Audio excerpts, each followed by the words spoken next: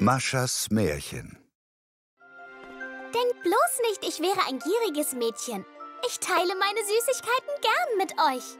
Aber wisst ihr, was dem tapferen Schneiderlein passiert ist? Nein? Passt auf! Das tapfere Schneiderlein. In einem fernen Land lebte einst ein kleines Schneiderlein. Es aß für sein Leben gern Süßes. Der Honig und die Marmelade aber zogen die Fliegen aus dem ganzen Königreich an. Das Schneiderlein verjagte sie nicht. Also dachten sie, sie könnten in seinem Heim tun, was immer sie wollten. Eines Nachts brachen sie in den Kühlschrank ein und futterten alle Cremetörtchen auf, die das Schneiderlein versteckt hatte. Ging nun wirklich zu weit. Das Schneiderlein nahm ein Tuch vom Stuhl neben dem Esstisch, holte aus und schlug nach den Fliegen, so fest es konnte. Er erwischte sieben Stück und alle anderen machten sich schnell aus dem Staub. Das Schneiderlein verschloss den Kühlschrank.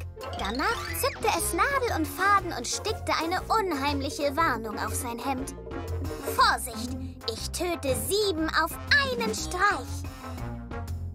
Es lief schnell zum Konditor und kaufte sich dort neue leckere Cremetörtchen. Gut gelaunt ging es nach Hause. Das Schneiderlein lief die Straße hinunter und biss von seinem Törtchen ab, als plötzlich... Wow! Ein Riese vor ihm stand. Der Riese las, was auf des Schneiderleins Hemd geschrieben stand. Er fragte, was genau meinst du denn damit, du tötest sieben auf einen Streich? Der Riese war neugierig geworden. Darum sagte er zu dem Schneiderlein, wenn du so mutig bist, dann lass uns sehen, wer stärker ist, du oder ich. Gewinnst du, so werde ich dir ein großes Geheimnis verraten. Sollte aber ich der Stärkere sein, hast du ein Problem.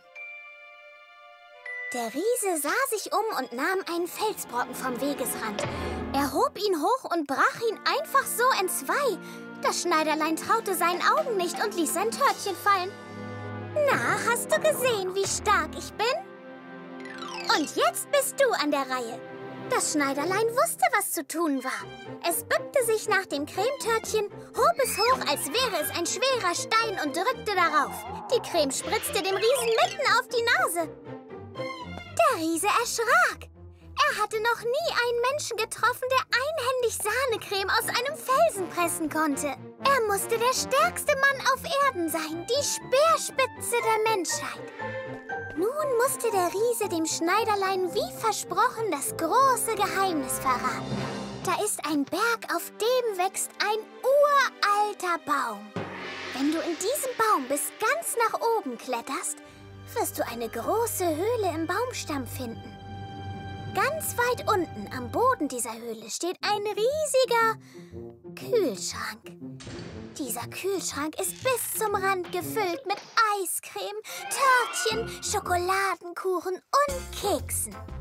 Doch es gibt einen Wächter, ein Hund mit Augen so groß wie Wagenräder.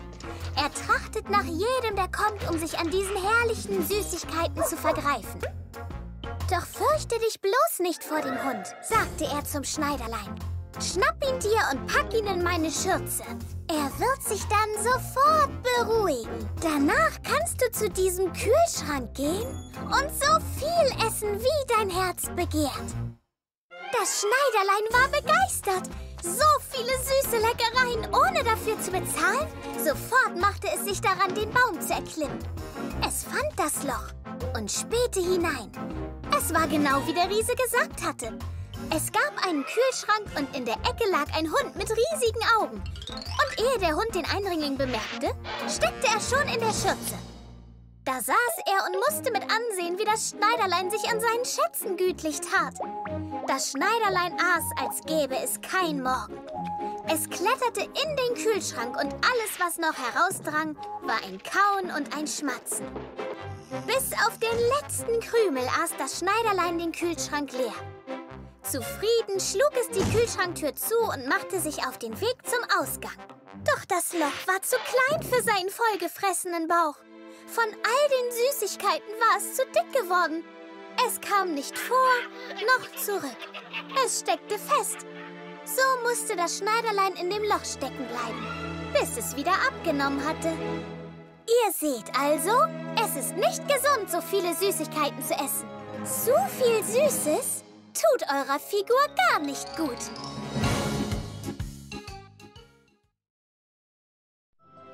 Warum macht ihr euch so breit? Wo soll denn der Kleine hier noch sitzen? Glaubt ihr, ihr könnt gemein zu sein, nur weil ihr größer seid? Also, ich sollte euch mal eine Geschichte erzählen, die von dem Riesen und dem Däumling. Der kleine Däumling. Es war einmal eine Familie, die hatte drei Söhne. Der älteste Sohn war stark wie ein Bär. Der mittlere war rund wie ein Fass. Und der jüngste war klein, ein richtiger Winzling. Die älteren Brüder waren sehr gemein zu den Jüngsten. Sie lachten über ihn und nannten ihn Däumling. Sie riefen, Hey ho! Hey ho! Du bist nicht größer als ein Floh! Tages gingen die beiden älteren Brüder in den Wald Feuerholz sammeln und ließen den Kleinen zu Hause. Aber der kleine Däumling war schlau. Er folgte seinen Brüdern und ließ Kieselsteine fallen, um den Weg zurückzufinden. Seine Brüder hatten inzwischen genug Holz gesammelt, doch sie hatten sich verirrt und konnten den Heimweg nicht finden. Sie weinten wie zwei kleine Mädchen. Da kam der Däumling des Weges und sprach, Hört auf zu heulen, folgt mir!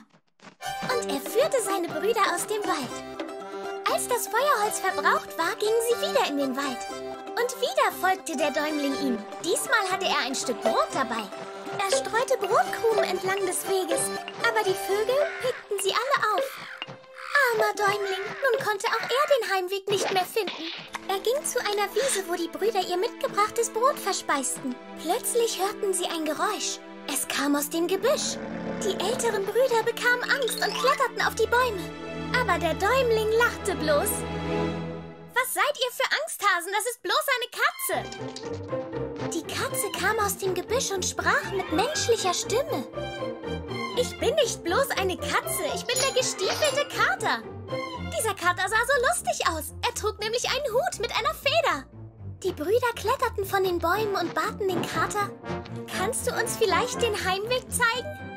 Der sagte, dazu habe ich keine Zeit. Ich habe einen wichtigen Termin mit einem Oger. Den müsste er zuerst hinter sich bringen. Erst dann könnte er ihnen helfen.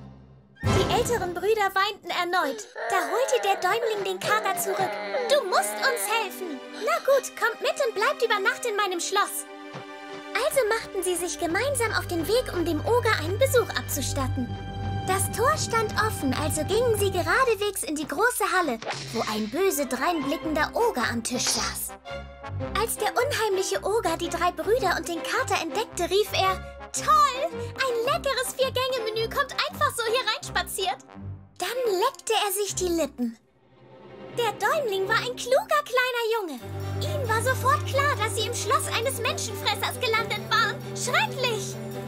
Der Kater zwinkerte den Jungen zu und sagte zu dem Oger, Also wirklich, Herr Oger, Sie sind aber kein guter Gastgeber. Ich habe gehört, Oger können ihre Gestalt verändern, um ihre Gäste gebührend zu erschrecken. Aber ich glaube, Sie können so etwas nicht. Der Oger lachte nur. Dann, boom, verwandelte er sich in einen riesigen Löwen. Die älteren Brüder bekamen Angst und versteckten sich. Der Kater zuckte mit keinem Schnurrhaar. Er sagte zu dem Ogerlöwen, ist leicht, das kann doch jeder. Aber kannst du dich auch in etwas Kleines, Graues verwandeln? Der Ogerlöwe überlegte. Dann, zack, lief eine kleine graue Maus quiekend über den Tisch. Der Kater stürzte sich so schnell auf die Maus, dass er nicht nur Stiefel und Hut verlor, sondern auch alles Geschirr auf dem Tisch umstieß. Die Menschenfresser-Maus flüchtete sich in einen Krug. Der Däumling dachte nicht lange nach und verschloss den Krug mit einem Korken.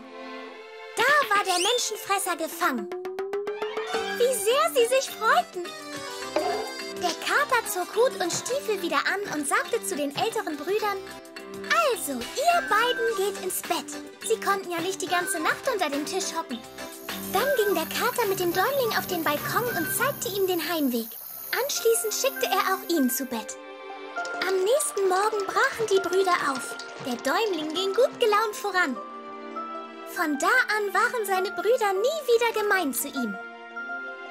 Vergesst also niemals, Seid wirklich niemals gemein zu denen, die kleiner sind als ihr. Denn jeder Däumling, wenn er nur klug und tapfer genug ist, kann den bösesten und furchteinflößendsten Oger besiegen. So, so, so, so. Warum sind denn alle meine Videos verschwunden? Hm, dann beginnen wir mal mit der Suche. 1, 2, 3, 4, 5 und 6. Vielleicht finde ich sie ja hier oben rechts. Das Mikrofon klicke ich jetzt an und sage Mascha und der Bär ist dran. Das war einfach. Und jetzt probiert ihr